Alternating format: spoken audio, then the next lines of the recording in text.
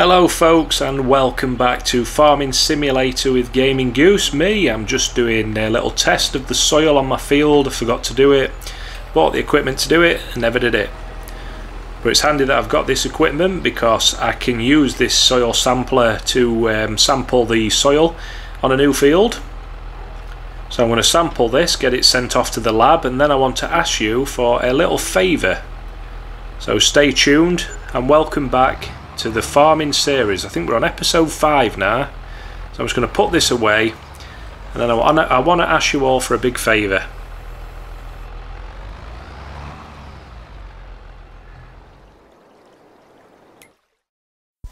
Right, hello everybody and welcome back. Uh, I'm just prepping for the England game. Um, that playing Switzerland tonight, so good luck. Hopefully we get the win.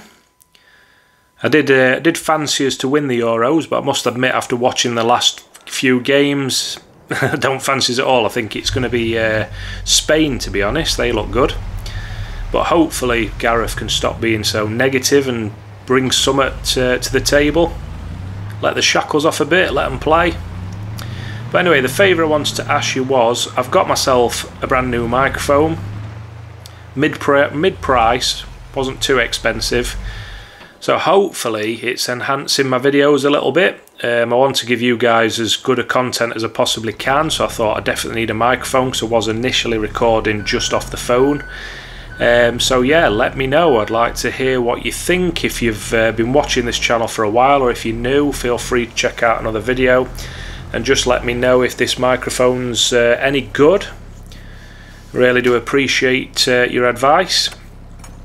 But yeah, it's good to be back on the farm. We're already on episode 5. Absolutely love this little area. Early morning. And in keeping with the realistic series, which we've been doing, because I do like a realistic series, that's why I try to do everything first person, keep everything as realistic as possible. We have got, just as it's approaching winter, we've got a little village fair going on. Um, now, they wanted some produce. So, I didn't want to sell my produce this early, but I am going to. I'm going to load up this trailer. I've got a few strawberries, I've got some tomatoes, some green peppers in all my three little locations and I'm going to take them down to the shop where they're going to process them and take them down to the fair and the peppers I, uh, I want to take them straight down to the fair it starts at one o'clock today so I am in a bit of a rush Need to get all these things loaded up. Oh no. Need to get all these things loaded up. Come on, Goose, you better than this. Here we go. If I shorten that, that'll load it a lot better. There we go. Forklift trained. So yes, I want to get this down as quickly as possible because they need it for one o'clock. Obviously, um, we don't want to be doing it yesterday because they want the produce as fresh as possible, and you can't get no fresher than this. Straight from the farm, straight down. So anyone who's buying the uh, whatever they're using the peppers for, whether it's the wrap stand, the chicken wrap stand, maybe some fajitas, chuck some of my fresh peppers in there, and it's going to be nice. It's the first first thing I've contributed to this um, to this neighbourhood. They're going to be chowing down on my delicious green peppers, which are at the next location. These are the lettuce. It's down at the other location if you've been following the series where the honey is. So we'll get everything loaded up, get down to the other uh, area, and we'll um, keep the uh, village fair in some food. But what a lovely, lovely morning again on the farm. Let me know if you're enjoying it and let me know what your predictions are for the Euros. I've watched every game and I must admit, I mean, I do prefer the World Cup, obviously, because you get in teams from different, um, from all different parts of the world, not just the Euro, not just Europe. But I've been a little bit disappointed with the games. Every single game, I normally watch every game, no matter what it is. I try to watch every game because I love football. But I've found it so difficult to watch any of the games, even, well, especially the England ones. But I watched last night's game, France Portugal, and you just think, oh, if you're a betting man, just have nil nil every game. every game's nil nil. But I think both games so far have gone to well, no, they haven't actually have they nearly gone all the way. But obviously Spain scored in the 120th minute, so nearly both games go in the full distance to penalties. Uh, I find it a little bit boring. There's no open games. Nobody seems to be really going for it. Oh, texticles coming through. Texticles. So yes, hopefully Southgate just says, you know what, do your thing and just win. Easy. But if you follow football, you'll know the last time we played Switzerland, I think it went to penalties, didn't it, in the Nations League? So it's going to be a tough game. But the good thing is, France have got Spain next, so that's one of them out. So if we can go through, what we saying? England Spain final. I've just come back from Spain on holiday. Yes, I know how to say cerveza. Gracias. Anyway, back to the farming. So these are the peppers. I'll just want to, I'm going to move them around a bit because I want it to be as neat as possible. As I said, I want it to be a realistic series. I have been also looking at other fields to buy. There's one right behind me for 35,000. A small field is normally around 60 to 70,000 for a very small one. Now I'm trying to calculate if it'll be worth it because the field across from me is basically half price, 32,000, but the trouble is there's nothing growing on it. There's not been any agriculture or farming on it whatsoever. It's just grass. So I'm trying to decide do I buy it and get some livestock, buy it cheap and I can buy the livestock with it. Maybe go down the sheep route, get some wool, turn the wool into fabric, turn the fabric into clothes. That's a good little money earner. A three-way production chain or do I plough it and turn it into a field just leave this here for now pick it up on my way back but the trouble with that is if I if I buy a field which I like to do as well if I buy a field for 60 70,000 and it's already got crops on you can if you buy it at the right time when the crops are ready to plant uh, ready to uh, harvest obviously that's free money. You buy in the field when it's ready to harvest you go down where you harvest and you sell the produce and you get your money back there. So I'm going to look at how much produce you get per acre look at the size of the fields and work out which is going to be the most beneficial for me because obviously it's a tight series I've got less than £5,000 in the bank. I'm going to be selling this produce today, which will probably get me to about seven, eight thousand. So I've not got an awful lot of money.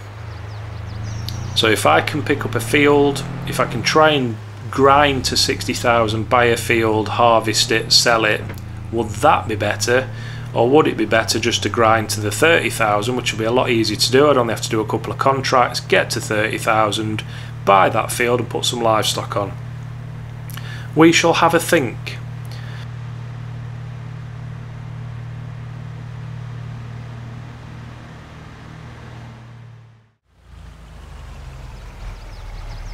So here we are, the moment of truth, how much we're going to get for all this produce. It's not going to sell the peppers.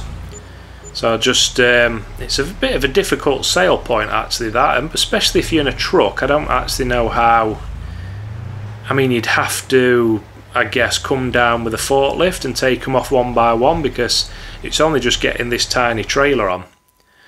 But we did have just below 5,000. It's still going in. What we're going to get?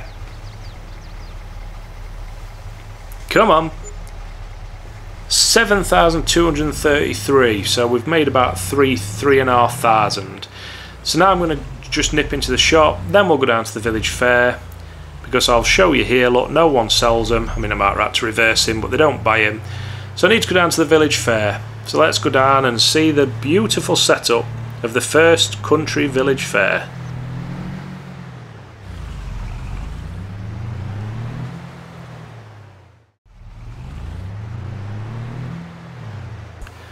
And here we are, we're just approaching the village fair. Obviously, there's nobody here yet. Doesn't start till one o'clock today. It's approaching half eleven. So I've uh, done it in plenty of time. I've only got one pallet, which is all they required, but let's be honest, that's all I had anyway. And this is the little fair. It's going to be really busy down here late, later on. They're obviously going to pay for this as well. Don't want to drive through goalposts. So yeah, looks like it's going to be a nice little day for the villagers down here. Football going on. There's going to be some cricket. I'll show you around in a minute when we've sold these. Just want to see how much I'm going to get for them. Money has gone down. Why has my money gone down? I had nearly 8,000. What have I done? Where has that money gone? What have I done with that? Try and figure that out in a minute. I don't know what's just happened to that money. Um, I'm confused. I'll have a look in a minute. It's obviously took some payment for something. But yeah, this is going to be the little area. The villagers will be looking forward to it, as would I. Looks quality. You've got a little cricket pitch. Although, let's have a look here. So somebody's bowling to me. Tonk. I mean, you get four runs every every shot. You only have to hit it 10 yard. Old fashioned goalpost, just solid wood. And this is the little village fair. Look, they've already got everything ready to go. They're all just down at shop having the last little coffee break before they come up to finish off. My peppers will be a nice little addition. There's a couple more stalls opening up later. So I'm going to get out of here and let them carry on. And that'll be the end for this episode. But as I say, if you could all help me out with the microphone issue, I really want to get these videos as uh, as good as possible. Microphone seems a tricky thing to get right, so hopefully we've cracked it this time. I have upgraded my equipment as well, so these videos should be almost in 4K, if not definitely 60 FPS. Shut these, and we'll get back down to the farm. So thank you very much for your help, and we'll finish off for today. If you've stayed right to the end, you are a legend amongst the farming world.